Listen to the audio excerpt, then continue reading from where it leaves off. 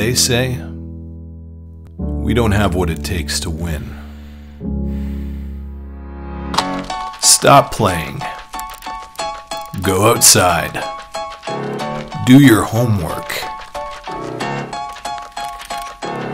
Quit dreaming. Make some real friends. Get a job. World tells you how to play, we say, win it your way.